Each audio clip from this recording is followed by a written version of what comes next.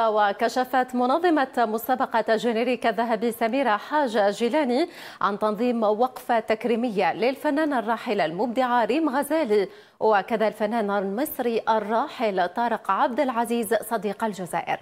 عبد الرحيم بونمري ثانية. طبعا هذه درناها لريم غزالي الله يرحمها. أولا أن ريم كفنانة كمخرجة كمنتجة أنا أنا ريم تبعتها. هي في سن يعني أنا أعتبرها بنت ليا وتبعتها من المنتجين والمنتجات اللي عندهم شجاعة من الناس اللي يحبوا هذا الوطن. فيما يخص آآ آه، آه، آه، طارق عبد العزيز طارق عبد العزيز من الممثلين اللي يحبوا الجزائر. أنا صديق ويحب الجزائر كثير كثير ومن من الممثلين اونجاجي صديق كانت عنده مواقف كانت عنده مبادئ يعني في في في في في أشياء كثيرة وفي قضايا كثيرة على راسها القضية الفلسطينية. يعني تاخذوا تشوفوا المواقف تاعهم كلها مواقف جريئة فيما يخص القضية الفلسطينية في وقت لكثير من الممثلين والفنانين رافضين يتكلموا. هذا وقالت منظمة مسابقة جينيريك الذهبية سميرة حاج جيلاني على أن الجمهور الجزائري على موعد قريبا مع عرض فيلم أحمد باي الذي طال انتظاره. عبد الرحيم بنمري مرة أخرى.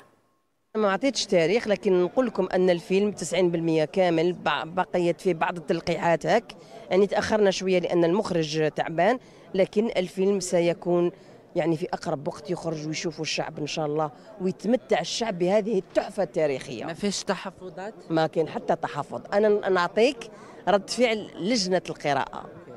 ولا ملاحظة.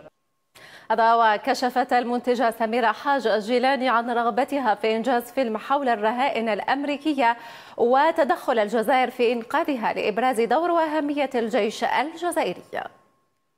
الرهائن فيلم الرهائن الرهائن الأمريكيين. وتدخل كيف دخلت الجزائر وخرجت الرهائن. ندار الفيلم أرغو لكن لم يقل كلمة واحدة عن الجزائر. أحلم أن أعمل أفلام على آه، مثلا آه، شوف الجيش تاعنا عنده تاريخ كبير. لكن ولا حد يعرف الأشياء اللي عملها الجيش. لما لا؟ يعني الجيش يخرج. أنا لما نشوف المتحدة في مصر قامت بتصوير عشرين مسلسل. أغلب المسلسلات وأنتم تعرفوا إلى من تنتمي المتحدة في مصر. لما لا يكون لنا إحنا لما لا يكون لنا نفس الشيء.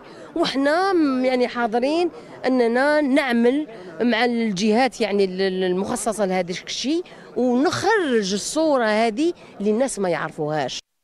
هذا ووضح المخرج الجزائري محمد حزورلي سبب تهاجمه وخلافه عن تنظيم الطبعة السادسة لمهرجان عنابة للفيلم المتوسطي وسبب غيابه عن الطبعة. لا والله يعني هذا في سوء تفاهم في سوء تفاهم. آه، أنا ما كنتش نروح خاطر ما كنتش نحضر لأنني خارج من عملية جراحية ما عنديش مدة من اللي درتها ما كنتش نروح. ولكن كان من اللياقة. أن مهرجان عنابه جاء من بعد مهرجان قسنطينة وكنا سببا في البداية باش يكون هذا المهرجان. والشيء اللي يؤسف أن رئيس المهرجان صديق كان يكلمني ويقول لي يعني قال كلمني ولكن ما كلمنيش خلاص ما ما ربما بعرف جاته توجيهات باش ما نحضرش ولا حاجة حاجة من هذا النوع. لكن معليش ربي أنا المهم أن المهرجان عنابه يبقى ويبقى متواصل وينجح أكثر من هذه. حضور حضوري ولا مش حضوره هذا ما يهمني.